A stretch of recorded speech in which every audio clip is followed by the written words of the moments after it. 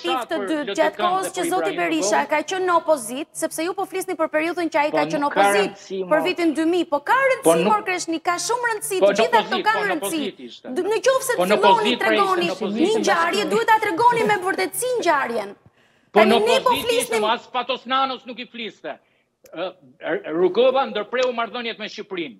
As Fatos Nanon dhe as as Sali Berishën nuk nuk shkeli, madje kur erdhi tranzit në Rinas, jo jo Fatosin e priti, nuk nuk priti Rexhepin, jo Fatosin. Fatosin e priti, Rexhepin nuk priti.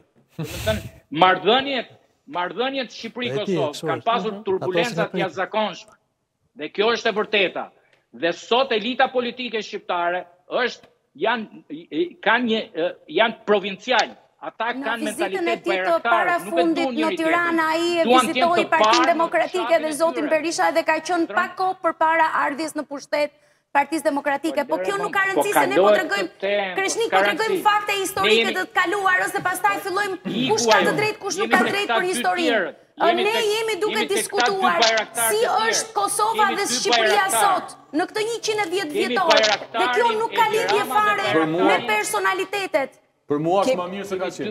Është më mirë. Ja ta mbylli zoti Mollneri. Marrëdhëniet tregtare janë